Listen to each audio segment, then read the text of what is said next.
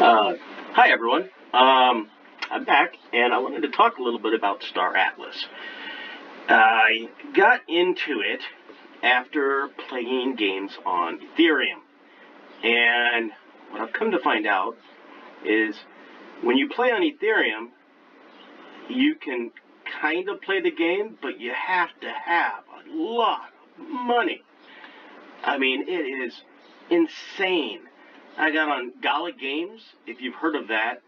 Um, it has Ethereum as a bridge, and it's almost unusable.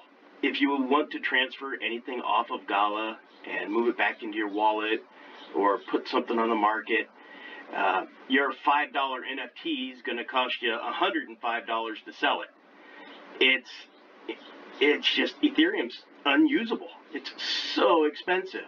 You have to be almost a an accredited investor in order to be able to touch it. Um, unfortunately, I am not that guy. I don't make a whole bunch of money, and twenty dollars to play a game, that's expensive to me. Um, what I love about uh, Star Atlas is that I can come in here and I can play, and I can actually do stuff in the game, and it doesn't cost me a whole bunch of money. Um, so I'm not guilty at the end of the night thinking, oh, I just drained $100 out of my bank account. You know, I might play all night and it only cost me maybe a penny.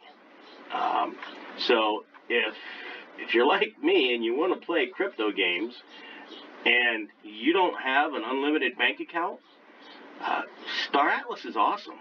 Um, anyway, I just wanted to kind of give my thoughts on playing Star Atlas on Solana versus playing any game in Gala on Ethereum.